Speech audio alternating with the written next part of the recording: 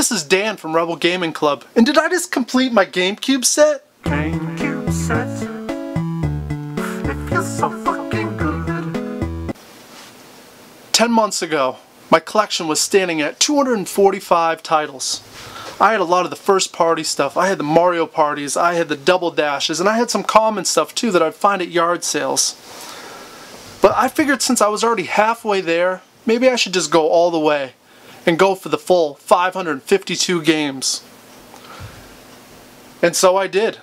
I chose, I said I was going to put a, a, time limit on this. I wanted six months to get this done. Well, we realize now it took me 10 months to get this done, which is still pretty good. Because at that point, 245 games compared to the 552 that I needed was a pretty big jump. GameCube set. It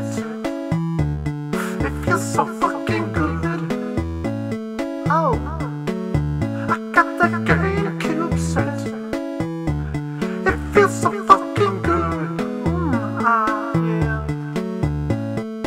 So I said 552. What you actually see is 549. I did not collect the Pokemon box, which really wasn't a game. I didn't get the Wind Waker Metroid combo pack, which it's a variant. And I also did not get the Steelbook for Resident Evil 4, which was the GameStop exclusive, because I already had that as well.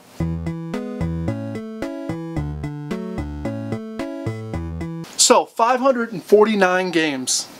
I'm going to give you some tips today to try to help you in case you're going for a complete set. Tip number one, always buy in lots. You know, the $100, $150 lots are the way to go. Facebook, Craigslist, get those games, flip them. You know, the ones you have doubles of. Because that's where you're going to find a lot of the crappy titles like the Legends of Wrestling, the Looney Tunes, the, the Hitmans of the world. You're going to find those in there. And you're going to want to save some money by doing that. Uh, tip number two, make friends. On YouTube, if you're a YouTuber, let it be known you're going for a complete collection. A lot of times people are going to want to help you out because it's cool to see these kind of goals achieved. Uh, if you're on Facebook, you're on Instagram, snap photos of what you're collecting. Let, let it be known. You know, let your friends know, let your family know. Those guys are going to help you out and towards that goal. Uh, I personally have helped out the video game wizard when he was going for a complete N64 set. I sent him a couple games. So people are out there and they want to help people out. Tip number three decide if you want the manuals or not.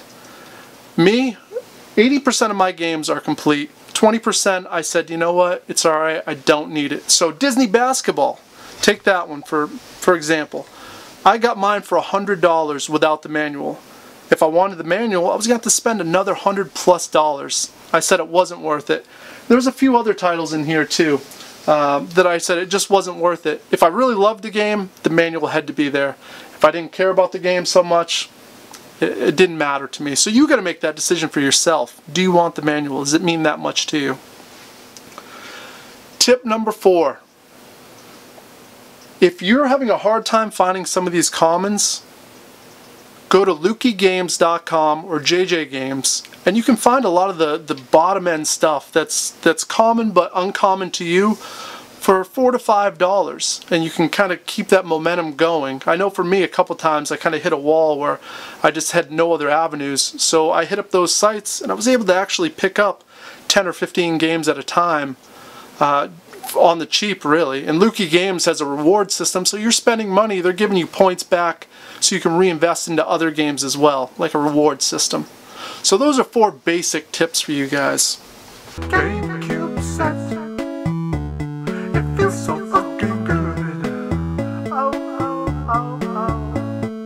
So if you guys are deciding you want to go for a complete set like this, I felt like it was the time to do it because I'm seeing the market. I've been collecting for the last four years, so I was seeing games like Cubivore. Two years ago, I knew that game was selling for around $100 complete.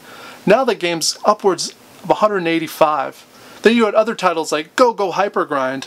I lucked out on that. The the price charting had it for $25 when I picked it up about a year and a half ago, but I knew it was more uncommon than that. And of course, I picked it up and then 2 months later it bounced up to around 60, 70 bucks. So, if you guys are wanting to do this, I would say right now is the time because this stuff just keeps bumping up, guys. Um, the commons are still staying, you know, around that four to five dollar mark, but there's a lot of in betweens that, if you're not aggressive right now, it's I think it's only going to get harder as people get older that grew up with this stuff as children, and they have some disposable cash. GameCube sets. It feels so fucking good. Oh, oh, oh, oh. Uh, I have some thanks. I have a list of thanks because without them, this never would have happened.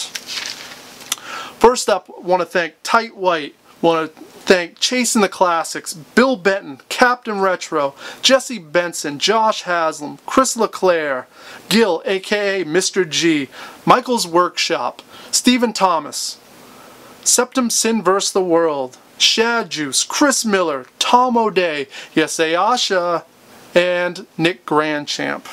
And there was that one dude that sent me Virtua Quest. I forgot your name, and I sent you that Smash Bros. Thank you very much. I appreciate it. All these guys helped make this come true. So, without them, this never would have happened. So here it is, guys.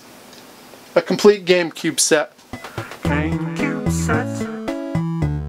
It feels so fucking good. Oh, I got the